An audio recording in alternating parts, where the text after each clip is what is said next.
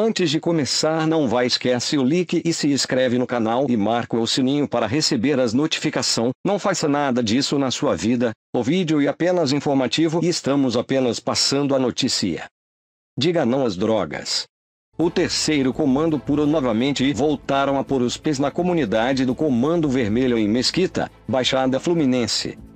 Segundo informações, esse grupo seria os mesmos que era da comunidade Mesquita no ano 2014 e 2015 e que teria pulado para o TCP. Esse grupo teria protagonizado uma guerra pelas comunidades do CV e Mesquita, agora voltaram recentemente para a Sombra, a comunidade.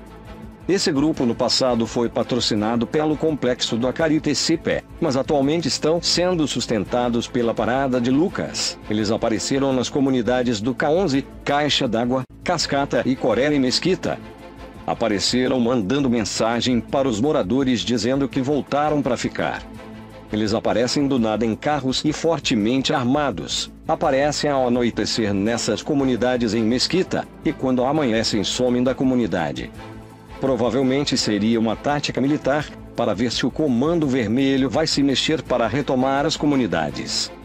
No passado, essas comunidades eram patrocinadas principalmente pelo Complexo do Chapadão, na zona norte do Rio de Janeiro. Isso é tudo pessoal, fique ligado no canal para mais informações.